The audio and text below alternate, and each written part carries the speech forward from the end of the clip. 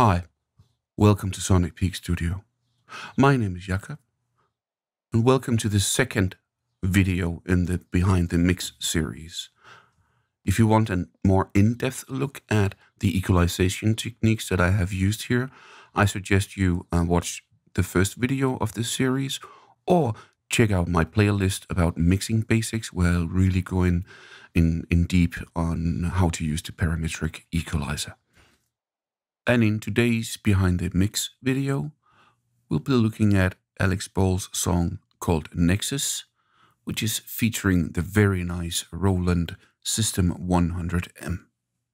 I've brought up the project here as it was finished in Ableton Live and mastered. We have the mastering chain down here, sorry. And I will start off by playing the track from start to finish while unfolding um, the different tracks. And you should be able to uh, see the EQ curves of the different tracks here in the lower right hand corner. Okay, so without uh, further ado, uh, let's go.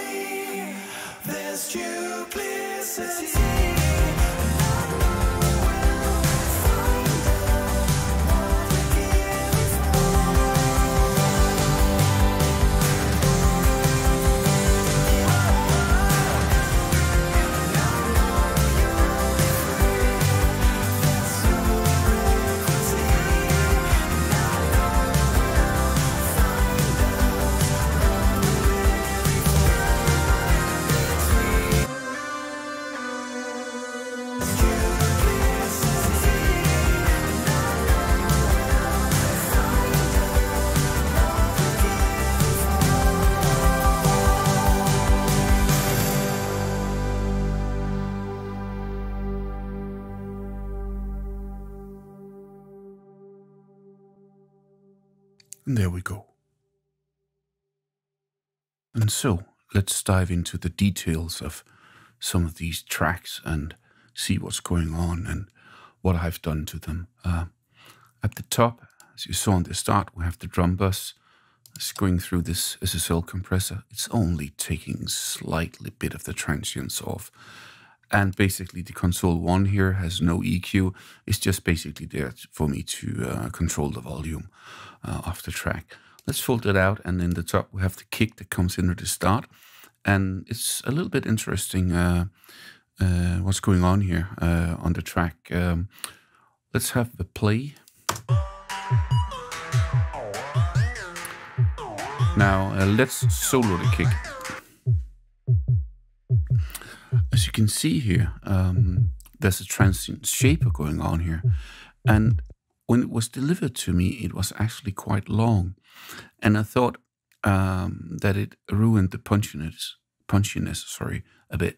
So I took off the tails a bit. Let's uh, see what's happening when I turn off the transient shaper. Without and with. So we can try and unsolo that.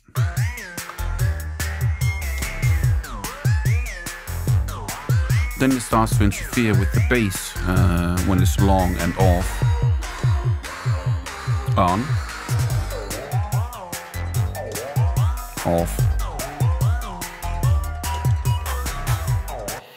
And then I've carved out, I had to low cut this a quite a bit actually because it was so booming really down there. And so there was no room for the bass. And also i would like to uh, not put on the full low end before the end of the song when uh, it gets big and, and huge. So i wanted to to uh, to save a little bit the best for last. So that's why i did that now, um, the snare here, uh, we can have a look at that as well. Um, there's a funny thing going on here uh, with this one. Um, let's uh, have a listen uh, to it. Now, this sounds stereo, but it wasn't stereo. Um, I have the normal EQ curve going on here, but here you can see I have a plugin going that's called QuickHaas. And this basically makes a very slight delay between left and right speaker, in this instance 12.8 milliseconds, um, to give the impression of uh, stereo. So this is a fake stereo machine. Uh, it's free. It's great. Um, the way to use this, use it is actually to tune it in mono, so that you tune this dial so that it sounds the best in mono, um, and then you turn back to stereo or else you can get some really uh, good things going in stereo, but in mono it sounds really like crap. So you need to look out for that. Let's have a listen on and off. On, off, on. Great. So actually we can mono this now. Let's do that. Mono and on. Listen, you can actually hear the delay and then off. And then I tune this to give the least amount of artifacts in mono to to get this nice uh, stereo spread. Great. And I've used this on more tracks, actually, as we shall see later. Great. Uh, let's go to snare 2. Uh, just a limiter on it. Um, and an EQ down here. Look at the limiter. It's just shaving off 4 to 60 dBs. We try and on uh, and turn it off. It's not much, but in the mix it takes off out some of the pokiness. And later we have the snare uh, A1 coming in, and that one has the QuickHaas uh, as well on it. Uh, and same story here. On, off, on,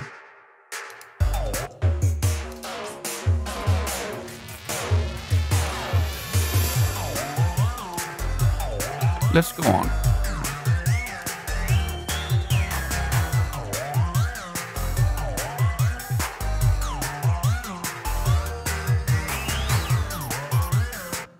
Okay, so that was some of the tricks that was implemented uh, on the drums uh, up here.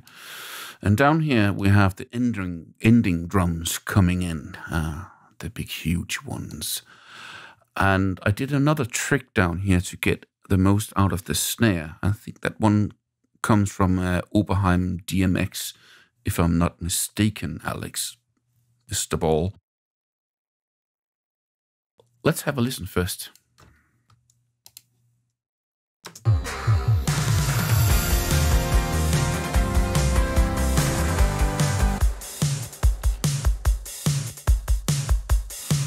Now you can hear some a gated reverb here on the snare. And I have it here. It's called snare verb. And listen to what's going on. Off. On. Now, if we solo this, let's have a listen. What I've done here is that I have taken a duplicate of this track down to this track, and then I have pitch shifted it uh, down four semitones and 25 cents. So I tuned this while I was playing the other snare to get it to sound as good as possible. Then um, I put up a Valhalla plate on it, full mix. I tuned that as well to get the nicest ring of it. And then I put in a gate to cut it off so it's not so long. And then um, there was a little bit too much uh, between uh, 2 and 5K. Uh, and I like this dynamic uh, EQ for, for these kinds of things. And then I boosted a bit uh, above 8K uh, as well. Now, and then in the end, we have a compressor as well. And that will bring out the tail of uh, the reverb uh, over here even more. So um, let's have a listen to it again.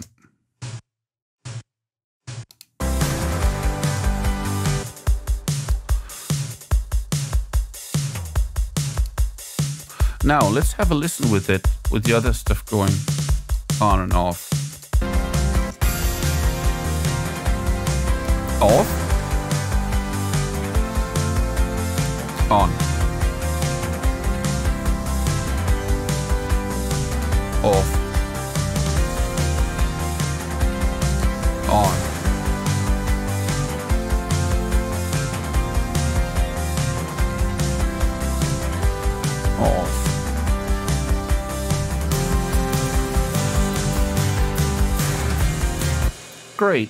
So that's some of the tricks that was was used here.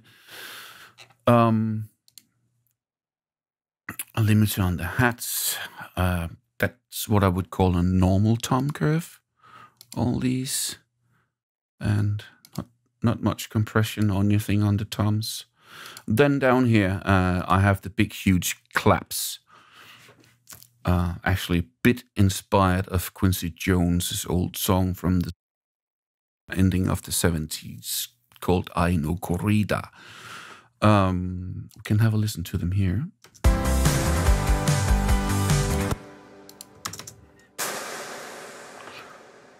So here I've taken the original clap, which is this one, and duplicated again down here. No, sorry, I didn't.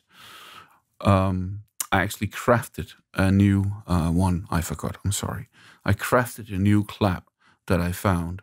And then on this one, through console one, and then through QuickHaas again to spread it. And this one is, is then tuned as well. And then through a limiter to take out too much of uh, uh, the transients so we can put it a bit back in the mix. And then uh, these two are then layered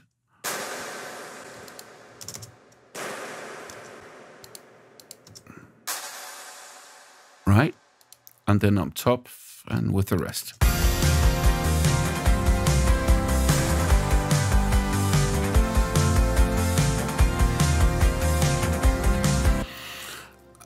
Great. And then to accentuate it, uh, I've also done some extra things to it here in the in the breakdown. So we have this.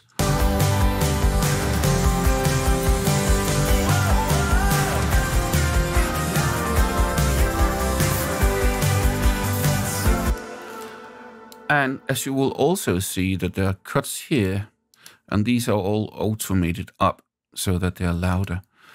Um, this also happens to the guitars uh, beneath it. So here we have the cymbals uh, as supplied from Mr. Ball. Um, I thought that they needed dubbing, so I threw in some extra cymbals here uh, using uh, EZdrummer. Uh, this is a great plugin to do such uh, things. I also used a tambourine uh, in the ending here. Find a nice uh, sample. I put in. Good, nothing special about that. Then we have the verse uh, bass going here, and I'm a big fan of uh, Waves Bass Rider. That's pretty good. It doesn't catch it all, but most of it. And then I use a quite conservative setting, and then I use a limiter in the end. Um, let's see.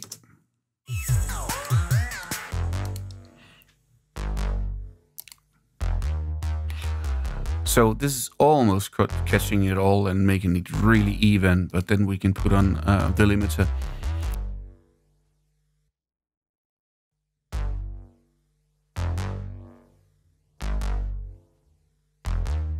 So that's usually what I do on basses um, like this, even uh, uh, even acoustic basses.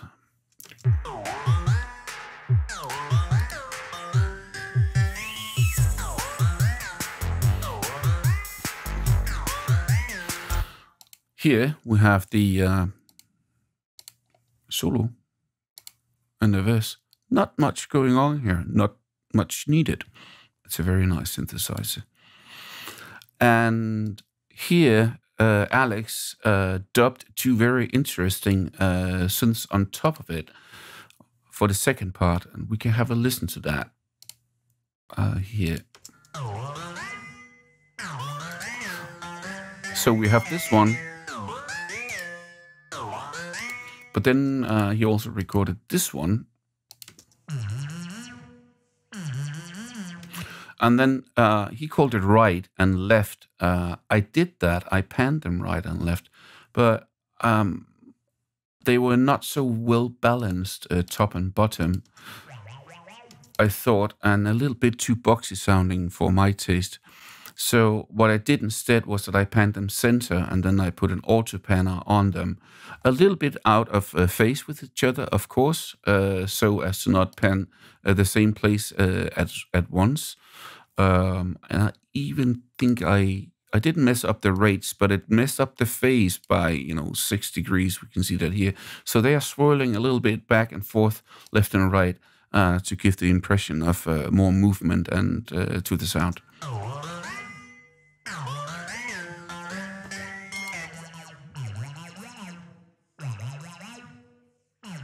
Like that. Let's move on. Next element we have here is the synth power chord. Um, it comes in here uh, at the first verse uh, and does something funny.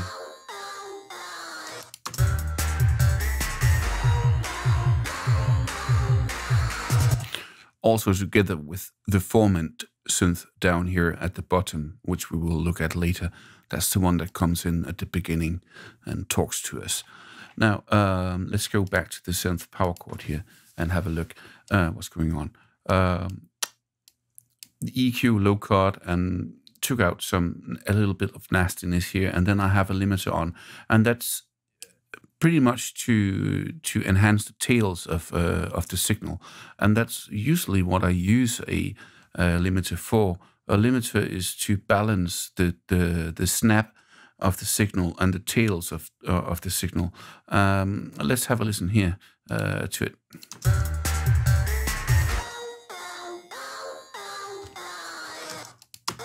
That's with, without. It gets much more pokey. You can really, wow, wow. But and the rest of uh, the, the, the the more gritty details of the tails get lost uh, a bit more. So, but with the limiter on, we can sort of enhance them. On, on, off.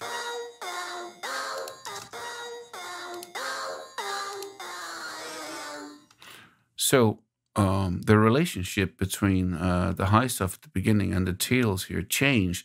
So this gets shaved off, and then we hear more of the tails. And uh, and I thought that those sounded really great, and it really enhances the, the the character of the instrument. So that's what I went for.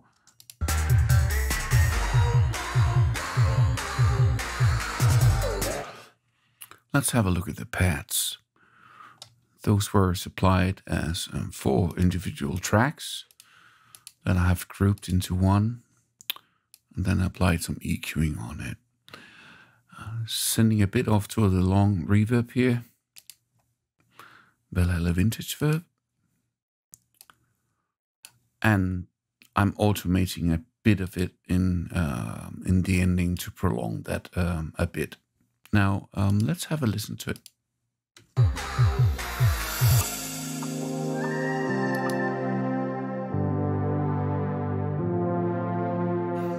Just lovely.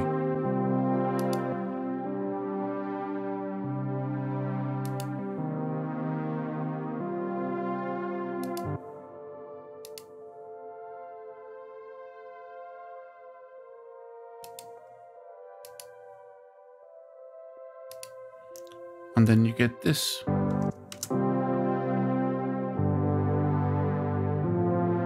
And this.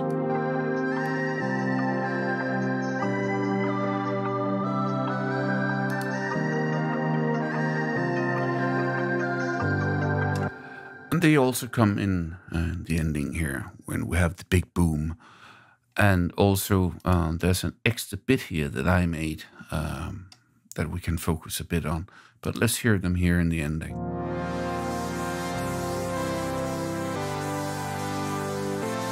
Very nice.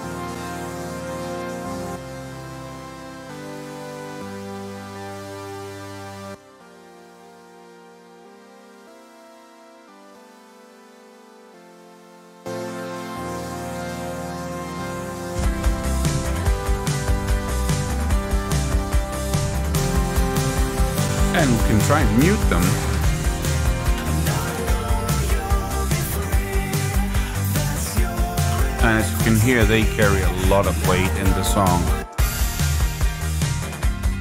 Without.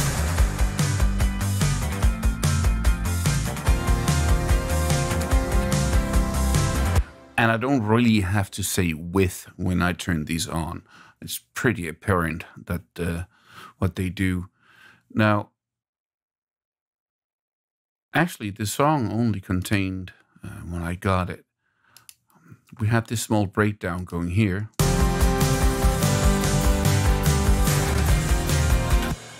And when it came around the second time, it would only repeat once. But the first time I heard the song, in my head, I just expected it to come twice. So I duplicated that and sent it to Alex, and he said, Yeah, okay, go. So we did like this to give it more, you know, drama and dynamics.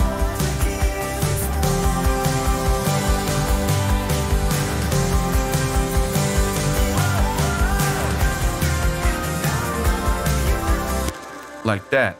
But then I, I, I, had the feeling that we needed some 70s flanger on that. What I did was I mixed down the pads and then I put them through uh, Waves Enigma uh, flanger. So I got like this.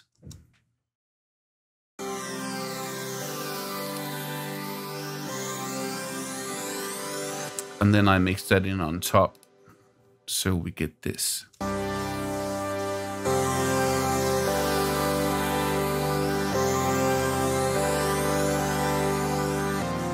So we end up with this. Without. With.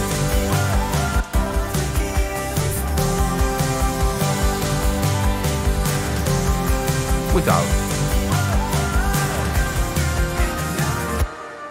Just to, you know, really accentuate this uh, huge uh, breakdown here and to give it some more drama. Let's have a look at the synth that starts the song. It's the Formant uh, synth, and it comes in on left and right uh, so it's been dubbed twice, and there's a bit of reverb on it uh, already. So um, the only thing that's happening to it is that it's been sent off to the parallel uh, compressor. And um, we have got this EQ curve uh, going as you see here. It sounds like this. Now,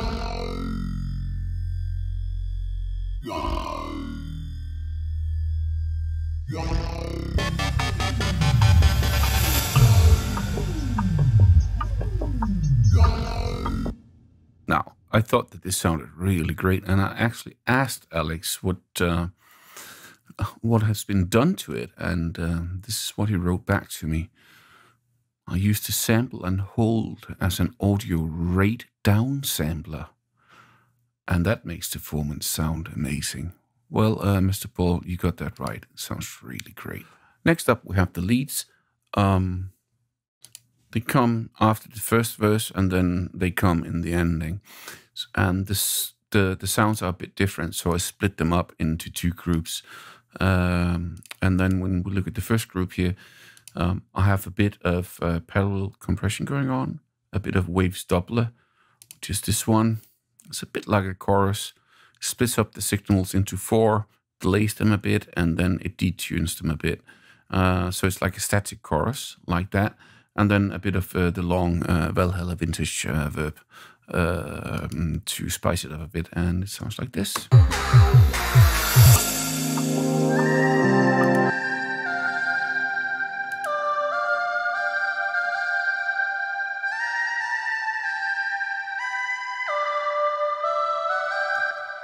It's just lovely. And then in the end, we've got the second lead coming up, really behind the vocals and it sounds a little bit like this.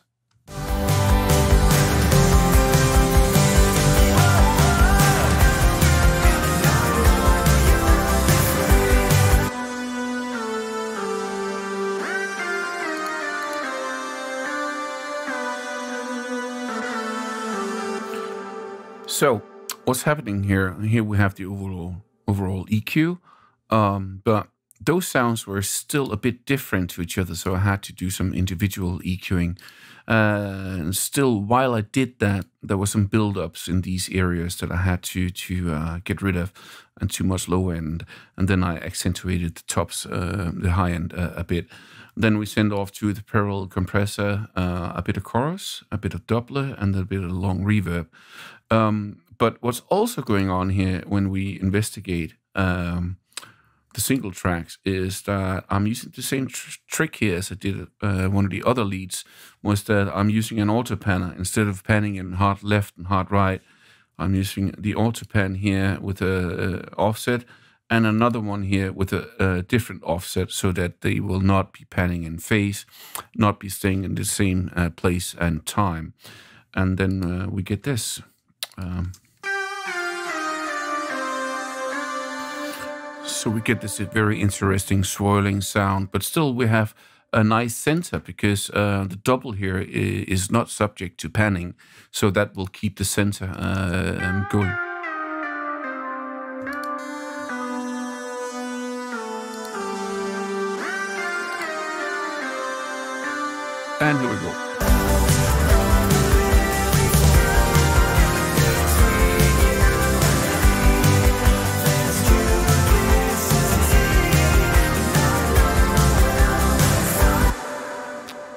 Simply two.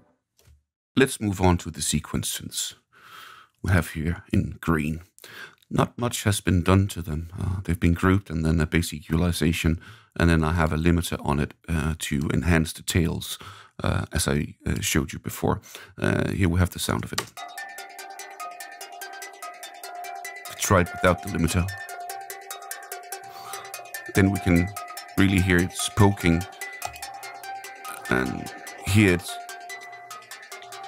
it gets more balanced and we can hear the mix.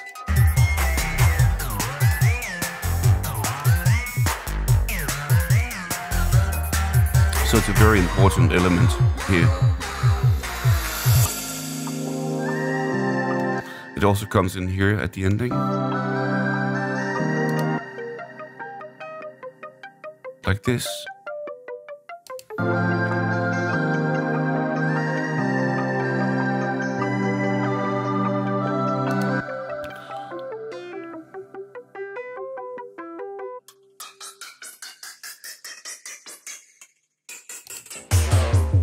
So there are lots of different details in these tracks.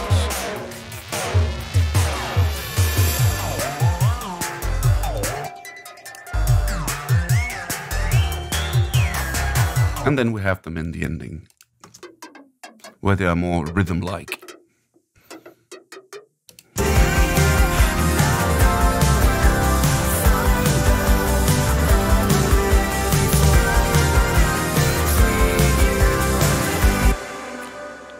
So that was the sequences, which leads us on to the uh, vocals that we have here in light blue. Um, quite a good deal of processing is going on here to to get the the angel-like sound that I wanted for this. Um, so don't be shocked. Um, we can hear them in solo, although they might not necessarily sound that nice in solo. But sorry, we don't really care for solo. But uh, let's have a listen. Your equity. And I know find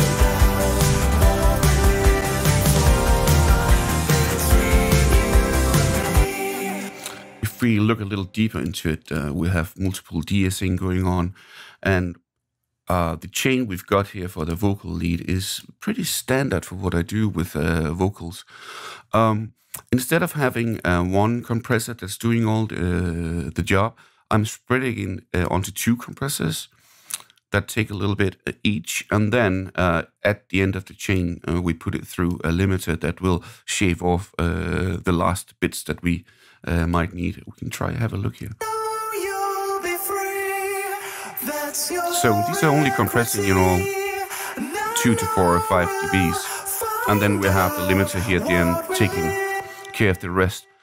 And then, of course, it's busting group uh, and here we have some extra compression and also a limiter in the end. Uh, we need to do that to get the wall of sound uh, going. Um, I'm not using console 1 as much, the EQ for that, sorry, oops, uh, because I'd rather use a dynamic EQ like this.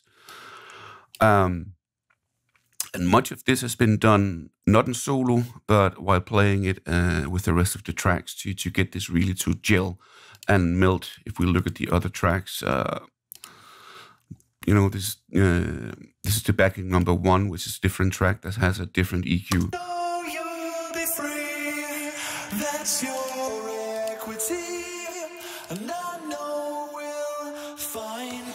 But uh, again, I use the same trick with uh, serial compression.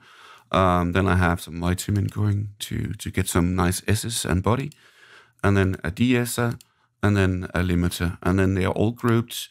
And then actually we have a bit of de-esser going on here as well, and then a limiter for last. So that's the vocal chain. That's your equity.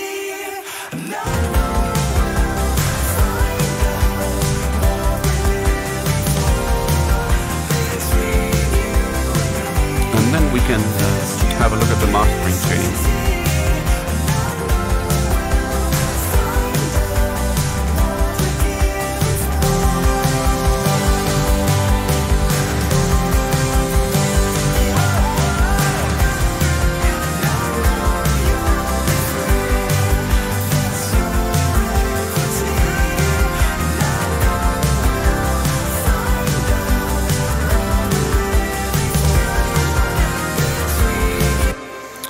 Here we have the mastering chain up. Um, console one comes in first with a uh, with a low cut around 30 hertz, and then I have a, the linear phase multiband compressor up, um, which I use to to shape uh, the overall sound. We can try and uh, mute it.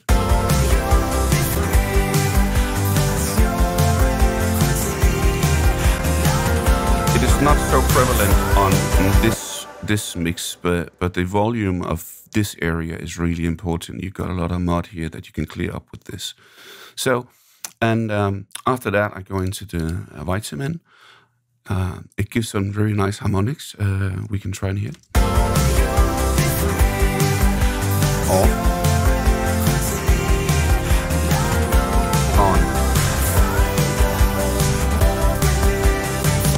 So it's like it's jumping a bit more out of the speakers. And I like to use Vitamin on every, everything that uh, needs a lot of boost or anything like that. I think it's good for that. Then we have a bit of stereo spread going on, only 14%, not much. And then at the end, the L2 uh, limiter, and then Youlean uh, mastering uh, loudness meter to make sure that um, we hit around minus 11 uh, short term. I think we're a little bit lower on this one.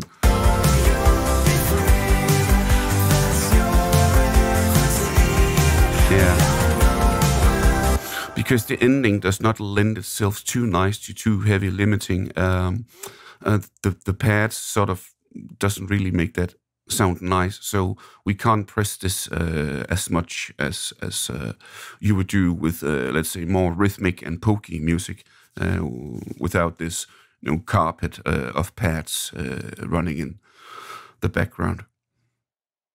Okay, so this pretty much rounds it up. I hope it has been interesting. Have a nice day.